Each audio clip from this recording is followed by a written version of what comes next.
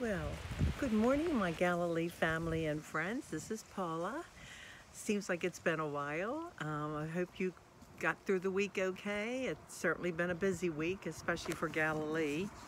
Um, I decided to be outside, and even though it's gotten a little cooler, and now I'm out front because every time I decide to go out back, my neighbors are cutting the grass and they're using the blowers for the leaves. So now I'm right out front and I'm sure the people that are driving by are wondering, what is she doing?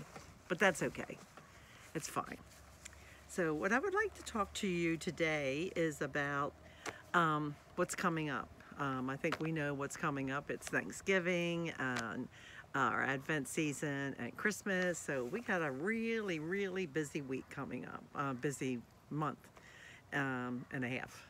Um, and I don't know about you, but it's like I get anxious and sometimes overwhelmed because you're thinking of all the things you have to do and you want to do and um, and do all these things in a very small amount of time, um, both with Galilee, our Galilee family, and you know my own family and my friends and and you start thinking about, you know, got to get the house together. And I mean, I'm better than I used to be. Um, I'm not trying now for the Hallmark Christmas card look, but I still, I, I try to get it as close as possible, put it that way.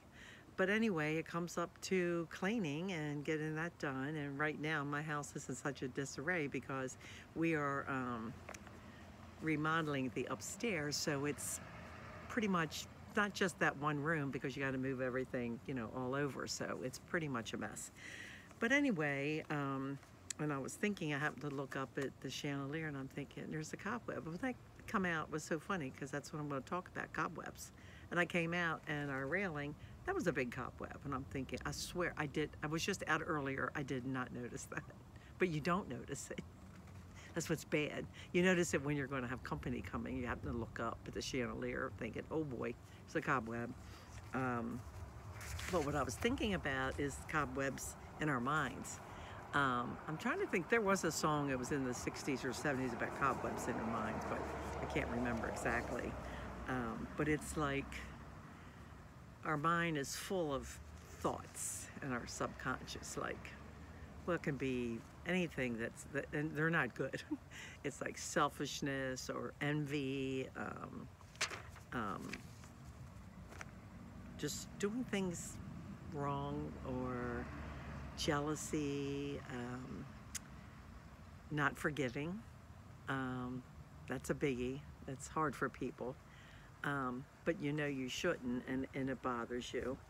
Um, but it's shame, it's selflessness, and, and guilt. Oh, that's another one, guilt. Yeah, that's a biggie.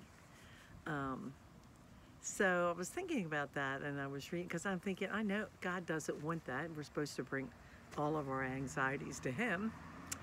And I do know when I do that, and I, I do, um, boy, I feel so much better because He is our Father. And I'm thinking, why don't I do that all the time? But I don't because, well, it's a work, I'm a work in progress. I think most of us are. But I was looking um, to different things about um, what God, when he talks about bringing all the anxieties to him. Uh, the first one is Philippians 4, 6 through 7. Do not be anxious about anything, but in every situation by prayer and petition, with thanksgiving, present your requests to God.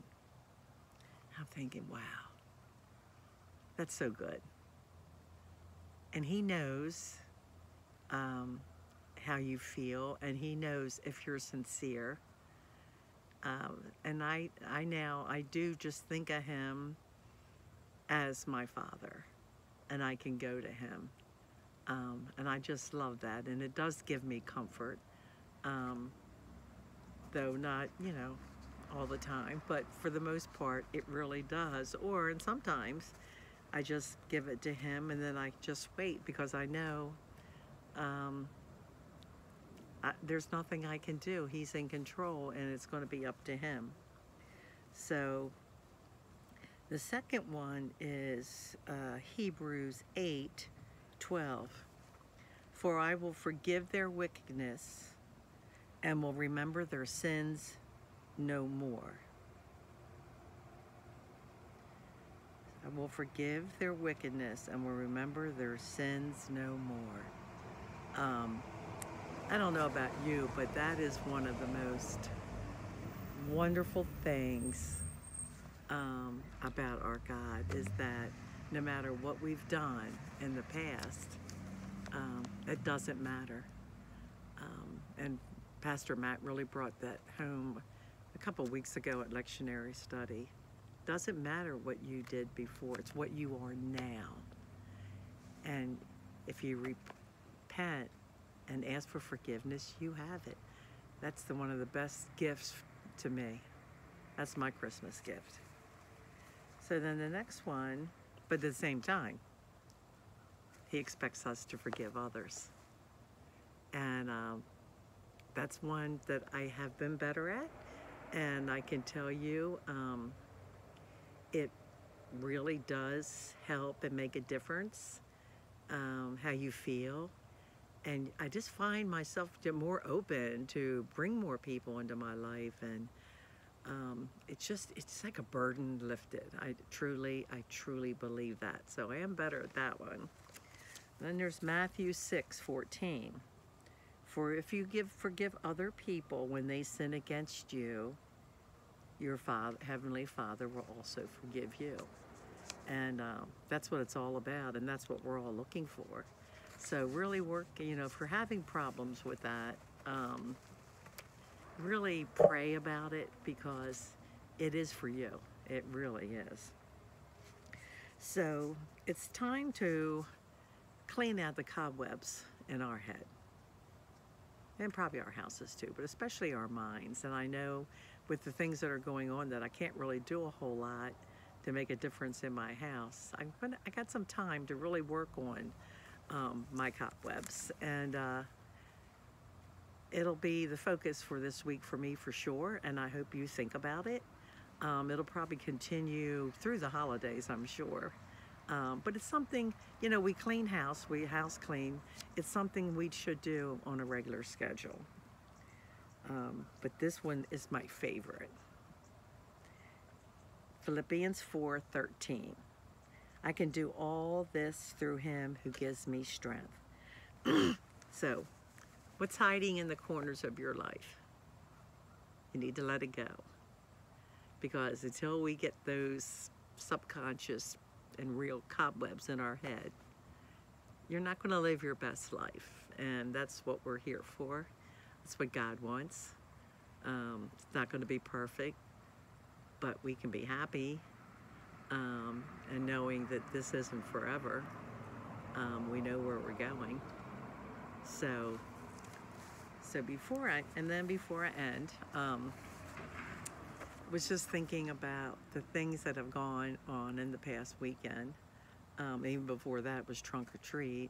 Um, this past weekend, it was, um, we literally, we actually have 11 new members. That to me is wonderful. So you might be seeing some people you don't know. And I know some people, like they think, well, maybe they go to different service. I know um, I usually just go up to someone and say, hi, my name is Paula. I'm not sure if I, I don't think I know you, and you may just go to another service. Nine times out of nine, they're new.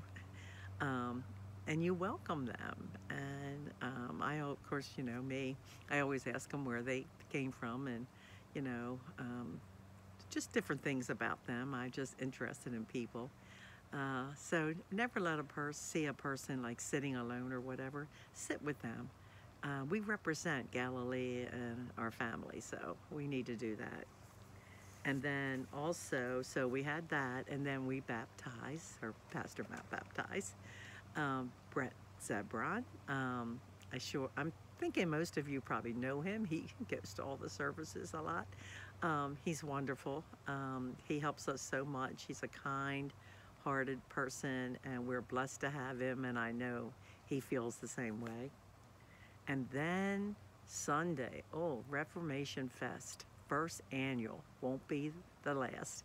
going to be doing it again next year. If you didn't go, please make sure you're there next year. It was so much fun, and the fellowship, and the games, and the music. Otis, you know Otis, he was there with his accordion and did all the Polish music and German music rather.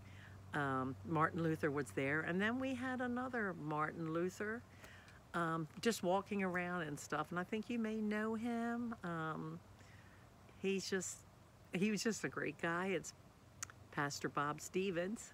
Um, so it's so wonderful to have him and Bonnie at our church now. Um, so anyway, it was so much fun, and was like a, and the food was amazing, and just the, everything was good. And seeing the kids and the youth group was great, and they helped with so much, and um, they helped with you know they were at the tattoo parlor, and uh, I had a Lutheran chick on my uh, cheek. So it was just fun. And we played Kahoot, and I learned a lot. We learned a lot more about Martin Luther. So it was educational too. So just please make sure you come next year.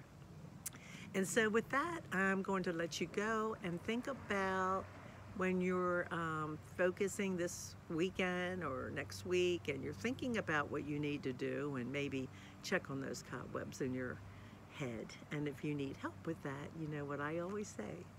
All you need to do is look up. Until next time, bye.